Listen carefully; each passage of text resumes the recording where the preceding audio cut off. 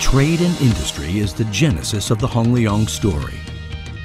By the 1950s, Hong Leong strengthened its position through the trading, manufacturing, and distribution of building materials, including cement, which continues to form a major part of this business. Hong Leong Asia Limited, its Singapore-listed subsidiary, is now a regional player, expanding via organic growth and acquisitions. The group has over 90% of its manufacturing and distribution businesses in Southeast Asia and China, and is well positioned to leverage on the region's booming growth. Within China, Hong Leong Asia has controlling stakes in three manufacturing businesses, ranging from diesel engines, industrial packaging, and one of the largest makers of home appliances.